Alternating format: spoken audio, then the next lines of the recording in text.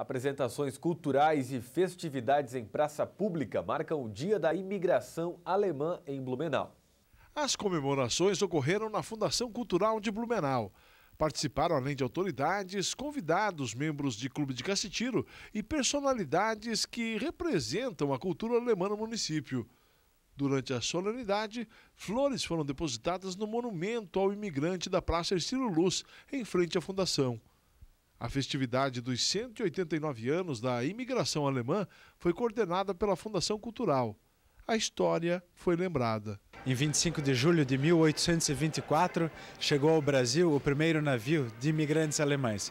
Em especial, neste ano, se celebra o Ano da Alemanha no Brasil. Durante as comemorações realizadas agora pela manhã, ocorreu o lançamento do livro que conta a história do Clube 25 de Julho apresentações de grupos de danças folclóricas e do coro masculino Liederkranz.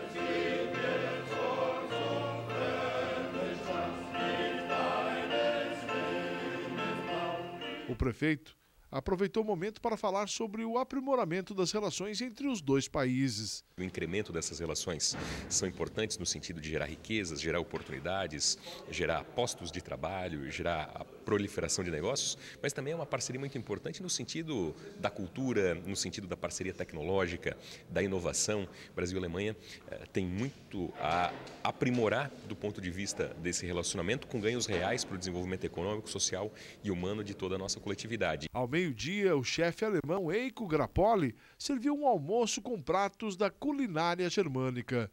O poder legislativo esteve representado. É, tem tudo a ver com a cidade. Uma cidade que, não, que vive o presente e o futuro. E também falar do passado para nós é uma alegria.